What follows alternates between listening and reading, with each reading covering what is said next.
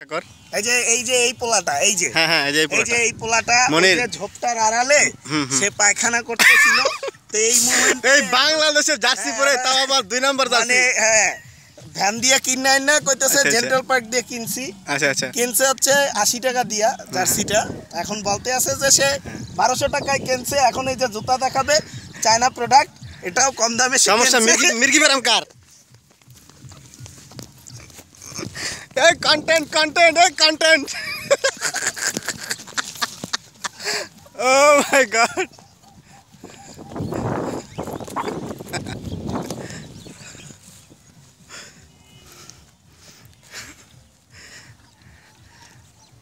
কালকে, কালকের যে খেলা হয়েছিল তার মানে